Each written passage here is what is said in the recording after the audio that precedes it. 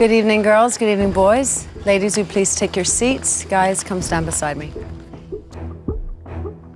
So, guys, as you know, tonight is a very, very important roommate selection because the woman that you choose will be your last roommate in paradise. So, if I were you, I would choose very wisely because she will be the only one that can take you to the final day and the ultimate prize. So, Zach, you're up first. Now, uh, I know that you and your chosen date, Stephanie, had a few ups and downs last night. Sure, yeah. Well, you know that this is a very important roommate selection. So you must choose very wisely, Okay. okay? Mm-hmm. With that in mind, please select a roommate.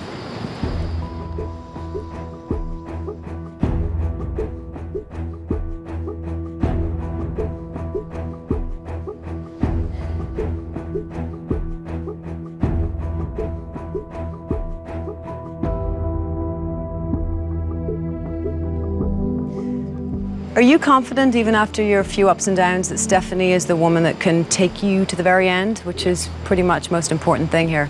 Yeah, I do trust her and I enjoy her company and I keep my word, so that's it. Mikey, come on over. There aren't very many girls left, are there? Not a whole lot, no. No. Well, I know that your relationship with Krista is uh, is one of a very strong bond, right? We see things very, very similar. Chris is a fabulous person. She's an amazing roommate. Well, let's see if she is the one who you want to play the game with till the end, Mike. Thank you very much. Hello.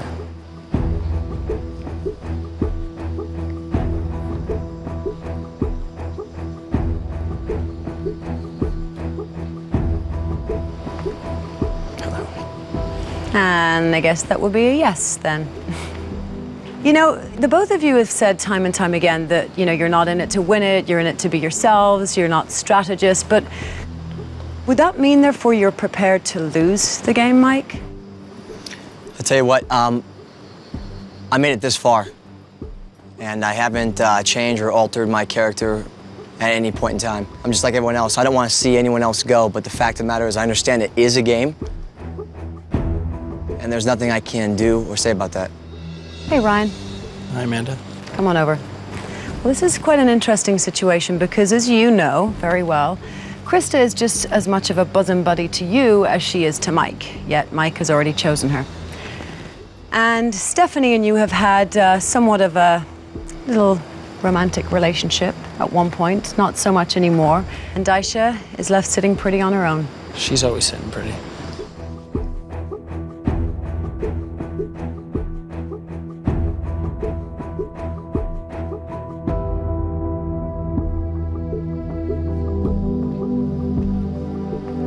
Was there any strategic move behind choosing Daisha tonight, Ryan?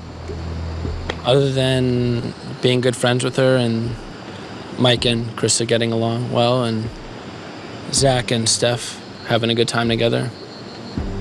Do you feel that you can trust Daisha to be the woman that might take you through to the end? Absolutely. No ifs, ands, or buts. No, uh, I have never said anything bad about her, and I don't think she said anything bad about me. We're both here to enjoy ourselves, and hopefully we can get to the end. James, you're up. What's up? Next and last. So, seems you've had some great rolls of the dice here at Paradise Hotel.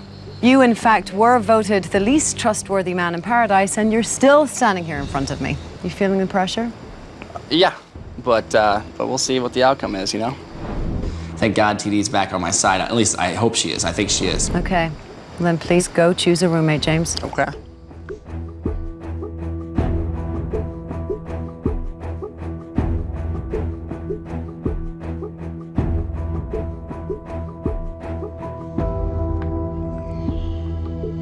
Ooh, three of the originals.